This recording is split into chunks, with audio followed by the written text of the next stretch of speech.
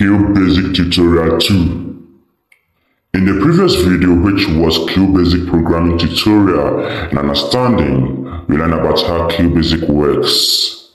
We explained something small about the various areas of the screen, from the main menu bar which is located at the top to the status bar which is located at the bottom.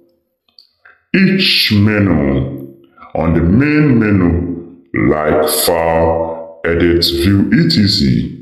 contains submenus. The scroll bars, as we already know, allows us to move forward, backwards, upwards, and downwards the work page. Now, what is the function of these menus of the main menu bar? 1 debug, 2 run, 3 search. Let's take it one after the other. Debug.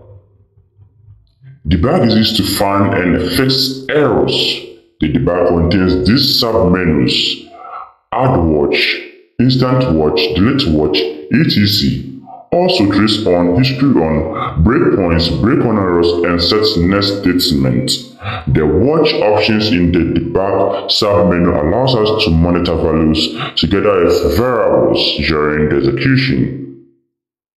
There are two breakpoints, the toggle breakpoint, which is used to set breakpoints and clear breakpoints. The trace on allows us to trace how the program is succeeding and the history on allows us to trace in about 20 statements preceding the cause of the error. Run. At the end of every program, where there is no syntax error, we can execute the program through the process of running. Search.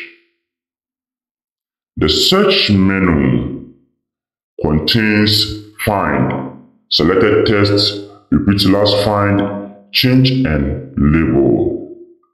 To place and also to find a test, the find helps us in doing so. To change names of variables, the change options can help us. Therefore, new name can be given to the variable.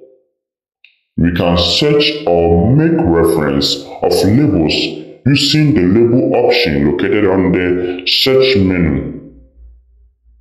These were the menus of the main menu bar. We can name our program and it will be displayed on the area known as Untitled. Moving on to the next level of QBasic tutorial.